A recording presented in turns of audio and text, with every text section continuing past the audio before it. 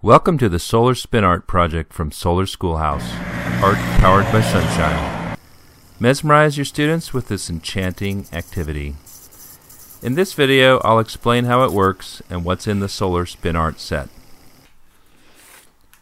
One Solar Spin Art base consists of a single half a volt 400 milliamp solar cell, a strong DC motor with wires, glued into a PVC coupling and mounted on a coroplast base. Add a 2 inch plastic wheel to the motor axle and we're ready to make solar art.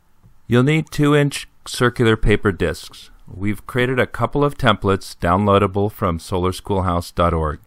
Print these on regular weight paper or cardstock for a better result.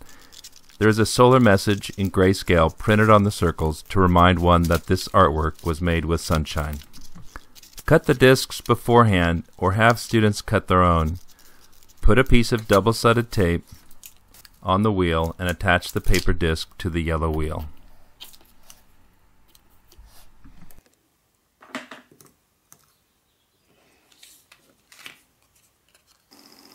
Put the base in direct sunlight and use various colored pens to create a cool design.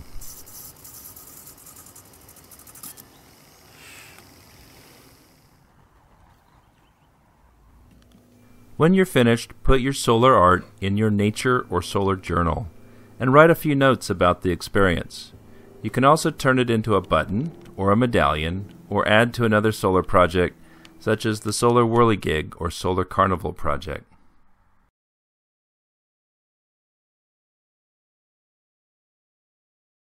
Solar Schoolhouse provides solar spin art sets in quantities of 1, 4, or 8.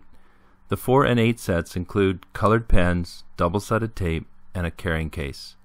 One can also purchase assembled spin art bases or parts to make your own. Templates for the paper discs are downloadable from the website, or you can purchase pre-cut paper discs from other sources. Check the website for details.